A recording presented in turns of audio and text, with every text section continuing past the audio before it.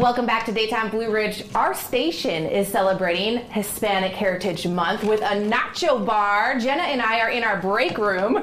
Jenna's already digging in. Yeah. What kind of nachos do you like to make? Ooh. Anything with cheese, guacamole, lots of lettuce. Um, and I don't know. Are you a soft taco, nacho, I- hard taco? If we're going nachos, I like to, yeah, the corn tortilla chips and then all of the cheese, the guac.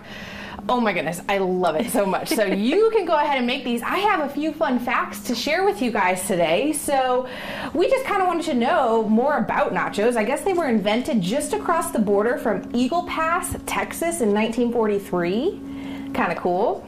They were named after the man who came up with the dish. It was a nickname for him was Nacho. Ballpark nachos rose to fame in the 70s when an NFL sportscaster, Howard Cosell, he couldn't stop talking about them. And according to the Guinness Book of World Records, the largest nachos ever made was at the University of Kansas Stadium. It took 80 people to assemble. I would love to get in on that. Oh my god! a huge thing of nachos and then you can just eat your heart out. Yes.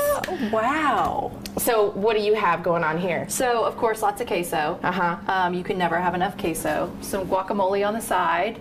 And then I'm not a super fan of like really hot hot sauce, so I'll probably go with the mild salsa. Yes, me and I like when it's chunky like this. I'm gonna get in line as well. This is so nice. I just love our station that we're doing this. We've got it all decorated. And we should say there are a couple people standing behind the camera right now. Hmm. Suzanne, thank you. she cooked all this up for us, and it looks incredible. So thank you so much. For, Yes, for it OO. does.